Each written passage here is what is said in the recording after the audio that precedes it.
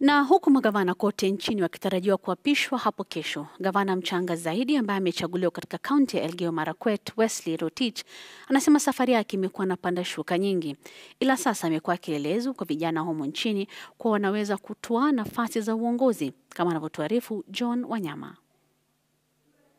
Na miaka thelathini na minne na ni gavana mchanga zaidi nchini Kenya ambaye alichaguliwa katika uchaguzi mkuu uliokamilika katika kaunti ya miamba wa Riadha, na anasimulia safari yake. In 2017, I was appointed by the outgoing governor to be the deputy governor uh, for Elgeyo Marakwet for the last five years.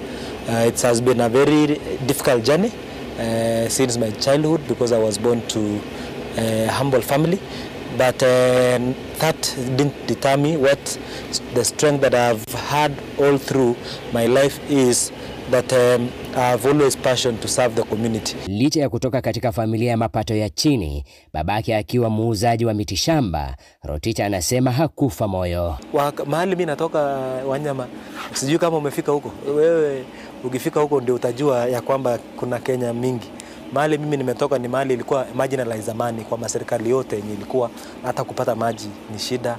Je, ni changamoto zipi alizokumbana nazo? Nilipitia changamoto mengi wakati nilikuwa naibu wa gavana eh, lakini niliwasamea wale wote walifanya hivyo kwa sababu sikuelewa walifanya kwa sababu gani. What I have done is I have ashamed all those who actually looked at me as, a, as an inferior person by ensuring that I perform uh, I perform better than what they think. As a governor, I will not succeed without ensuring that our people are safe, our people are living together, the Pokots, the Marakwets, the Turkana, all of us, the Tugen, all of us who are living in the Kerio Valley. Myself, I'm going to start an office called Peace and Conflict Resolution that is going to coordinate all partners, including the national government security agencies, to ensure that we have a peaceful Kerio Valley. Wesley Rotich amekuwa kielelezo bora kwa vijana kwamba wakitia bidii wanaweza kufaulu katika azma zao maishani. John Wanyama, runinga ya Citizen, kaunti ya Elgeyo Marakwet.